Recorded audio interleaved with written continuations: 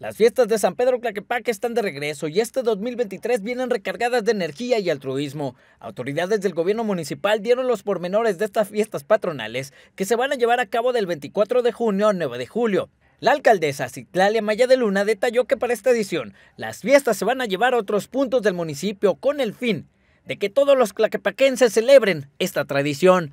Y que nos declaramos listos para llevar a cabo nuestra tradicional feria de San Pedro Tlaquepaque, que arranca el 24 de junio y estará próximo hasta el 9 de julio. Pero además estoy muy emocionada de compartirles que esta edición será realmente especial, porque habrá varias cosas que harán esta fiesta única.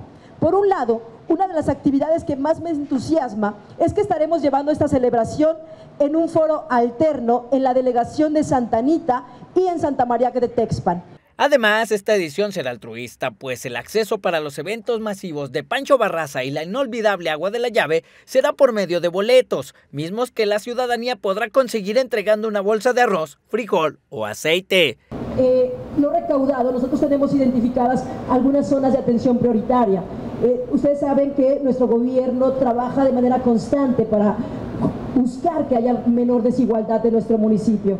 Y para ello hemos echado a andar diferentes comedores comunitarios, tenemos un programa que se llama Tlaquepaque Alimenta, que procura que las familias tengan canasta básica de manera directa gracias al gobierno municipal.